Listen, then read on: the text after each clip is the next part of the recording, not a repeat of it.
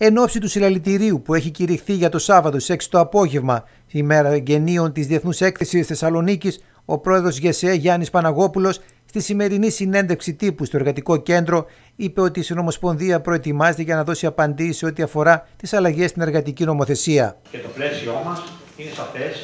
Ε, με τρεις λέξει θα μπορούσα να το περιγράψω. Είναι η επαναφορά του πλαισίου των συλλογικών διαπραγματεύσεων.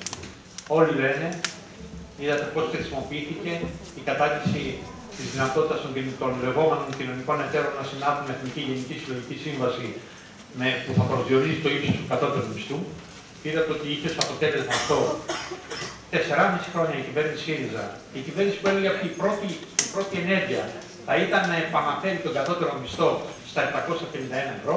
Είδατε ότι 4 χρόνια δεν έκανε τίποτα.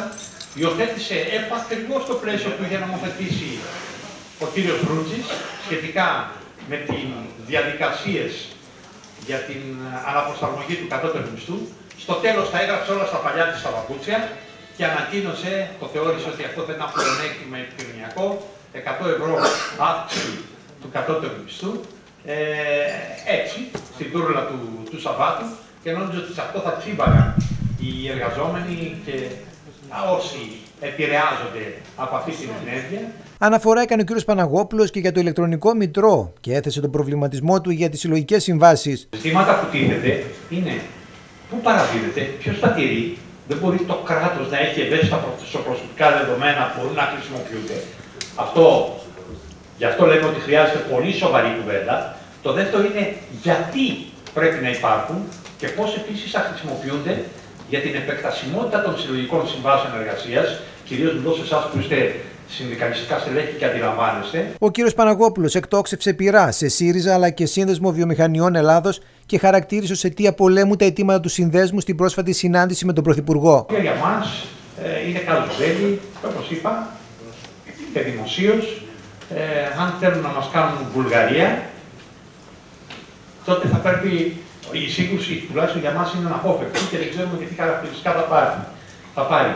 Μίλησαν, ζητούσαν από τον Πρωθυπουργό αφενός με ειδικές οικονομικές ζώνες και μην φαντάζεσαι οικονομικές ε, οικονομικές ζώνες ε, υποτύπων παραδείγματος χάρη φορολογικών κινήτρων. Όχι, μίλησαν για το κόστος εργασίας, γιατί μετα, με, με, μετακομίζουν οι επιχειρήσεις όπως είπαμε στη Βουλγαρία Δηλαδή, αν η φιλοδοξία μας είναι να ανταγωνιστούμε τη Βουλγαρία, ε, φίλοι που μας έφαγε. Ο πρόεδρος της ΓΕΣΕ επιτέθηκε κατά του Κομμουνιστικού Κόμματος Ελλάδος και του συνδικαλιστικού του βραχίωνα του ΠΑΜΕ για την ακύρωση σε Ρόδο και Καλαμάτα του συνεδρίου της ΓΕΣΕ. Η ελληνική οικονομία που σουλάει δεν περπατάει, τόνισε ο καθηγητής και επιστημονικός διευθυντής του Ινστιτούτου Εργασίας της ΓΕΣΕ, Γιώργος Αργίτης, ο οποίος προέβλεψε με βάση τα στοιχεία του πρώτου εξαμήνου του 19 ότι η χρονιά πιθανώς θα κλείσει με ανάπτυξη κοντά στο 2%. Με ανάπτυξη 2% η κυβέρνηση δεν θα μπορέσει εύκολα να υποστηρίξει τον στόχο που έχει θέσει, δηλαδή της μείωσης των πρωτογενών πλεονασμάτων, τη μείωση που υποτίθεται ότι επιτρέπουν οι ενισχυμένοι ρυθμοί ανάπτυξης του ΑΕΠ, τόνισε ο κύριος Αργίτης. Αυτό που θα μας ενδιαφέρει να ακούσουμε το Σαββατό είναι μια μείωση της φορολογικής επιβάρυνσης πρωτίστως στους μισθωτούς. Δεν θα έλεγα δευτεροπόντως, αλλά θα έλεγα στη συνέχεια στους δεξιούς, στη συνέχεια στα υπόλοιπα κοινωνικά στρώματα, τα μεσαία στρώματα της ελληνικής κοινωνίας, έτσι ώστε να αντλήσουμε κι εμείς επιχειρήματα και να δούμε πώς όλα αυτά θα γίνουν μετά δαπάνη ανάπτυξη στην οικονομία. Η πληροφόρηση που φτάνει είναι ότι θα πάει να, θα, θα, θα υπάρξει μια παρέμβαση στην, στο διάστημα 0-10.000 ευρώ, όπου πράγματι θα μειωθεί ο φορολογικός διαλυστής. Προσέξτε, αυτό πρωτίστως θα έχει ένα όφελος για τους ελεύθερους επαγγελματίες, τους αυτοαπασχολούμενους, αλλά τους μισθωτούς.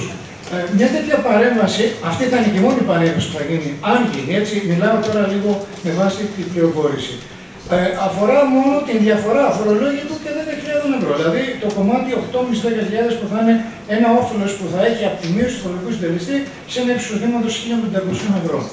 Αναφερόμενο στο χτίσιμο του αφορολογήτου με ψηφιακές δαπάνες, ο επιστημονικός διευθυντής εξέφρασε τον προβληματισμό του κατά πόσο αυτό μπορεί να επιτευχθεί από εργαζόμενους στην Ήπεθρο.